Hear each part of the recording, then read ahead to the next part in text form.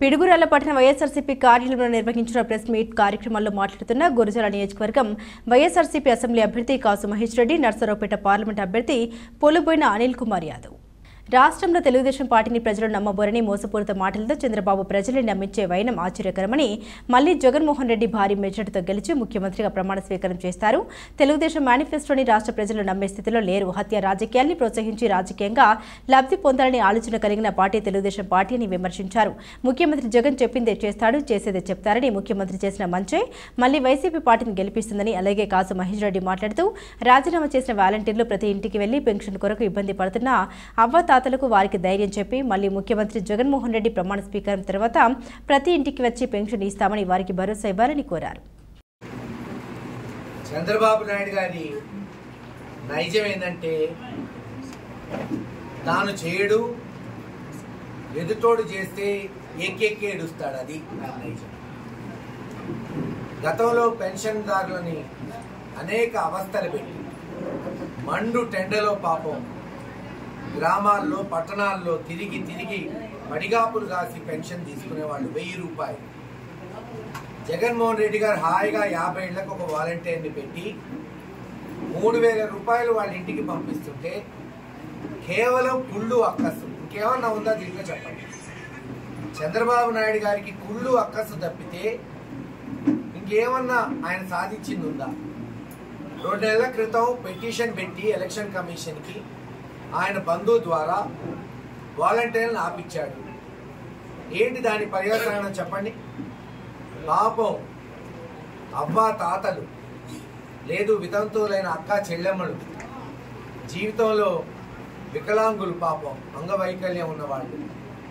ఈ రోజున గత నెలలో చూసాం మండు టెండలో పడిగాపులు కాసి పెన్షన్ తీసుకోవడం సరే ఈరోజు మళ్ళీ బ్యాంక్ అకౌంట్లో డబ్బులు వేశారంట అది కూడా పోవాలి కదా. అది కూడా తిరగాలి కదా పాపం వాళ్ళు. ఏంటి నువ్వు సాధించింది చంద్రబాబు నాయుడు గారు అని అడుగుతున్నావు వాలంటీర్లను ఆపి ఏదో సంకలు ఎగరేసుకుంటున్నావు నువ్వేదో ఘనకార్యం చేసినట్టు. పెన్షన్ల ఉసులు తగులుతుంది నీకు. పోతావు. ఖచ్చితంగా రేపు ఎలక్షన్లో మట్టి కొట్టుకుపోతారు గారు తెలుగుదేశం.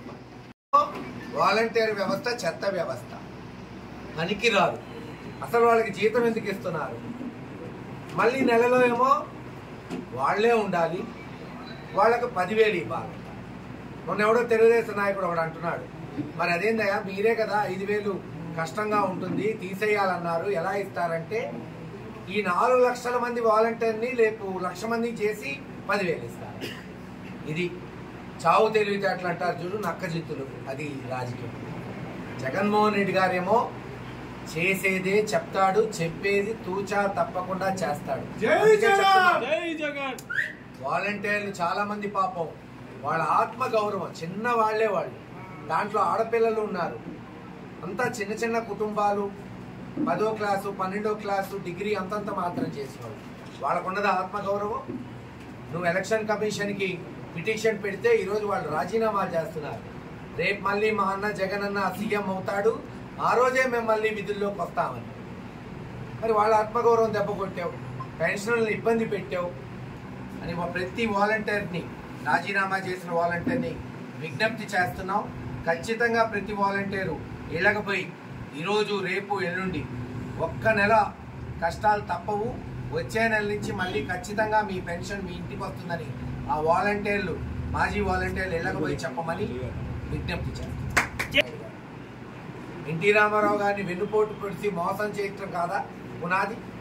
ఈరోజు ఆ ఎన్టీ రామారావు గారి శాపమే తగిలింది తనకి. శాశ్వతంగా రాజకీయాల్లో రెండుసార్లు జగన్మోహన్ రెడ్డి గారి చేతుల్లో ఓడిపోయి అవమానపడి భంగపడి చివరికి రాజకీయాల నుంచి విరమించుకునే రోజు పదమూడు రోజుల్లోనే ఉంది. ఖచ్చితంగా ఆంధ్ర రాష్ట్ర ప్రజలు జగన్మోహన్ రెడ్డి గారికి పట్టం కట్టబోతున్నారు అని తెలియజేసుకుంటున్నారు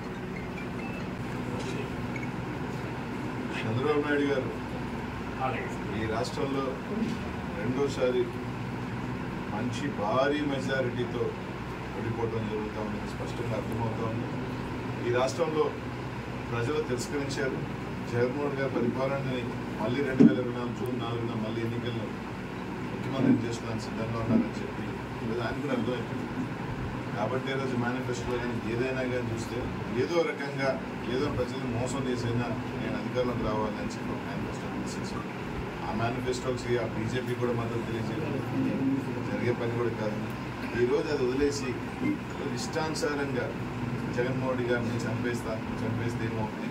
నేను చెప్తే ఏమవుతుంది? అంటే ఉన్మాదిలాగా. ఈరోజు చెప్తా ఉన్నాడు జగన్మోహన్ గారు సైకో. ఈ రాష్ట్రంలో సైకో ఎవరు? ఉన్మాది ఎవరు? ప్రతిపక్ష నాయకుడుగా మరి ఈ వీటి మీద గొడవలు పెట్టి ఇట్ట లబ్ధి పొందాలనుకుంటే నీచది నీచారని కృష్ణుడు ఈరోజు చంద్రబాబు నిజంగా ప్రజలన్నీ కూడా గమనిస్తా ఉన్నారు. జగన్మోహన్ రెడ్డి చెప్పింది చేస్తాడు. ఏదో సాయంత్రంటూ పాలిచ్చే గేదెని వదిలికొని దొరుకుతుంది తెచ్చుకోవడానికి కూడా ప్రజలు సిద్ధంగా లేరు. జగన్మోహన్ రెడ్డి గారు చేసే మంచి ఈరోజు నేను ఇంటికి చేసే కార్యక్రమాన్ని కూడా ప్రజలందరూ కూడా హ్యాపీగా ఉన్నారు సంతోషంగా ఉన్నారు చల్లగా ఉన్నారు. చంద్రబాబు నాయుడు ఎన్ని చేసినా ఎన్ని ఏదో మాటలు మాట్లాడినా ఏం చేసినా కూడా ఓపికతోనే ఉంటారు వైఎస్ఆర్ కాంగ్రెస్. మా పని మేము చేసుకుంటూ పోతాం. ప్రజలు మాతో ఉన్నారు. ఈ రాష్ట్రంలో జగన్మోహన్తో ఉన్నారు. తప్పకుండా మే పదమూడున ప్రతి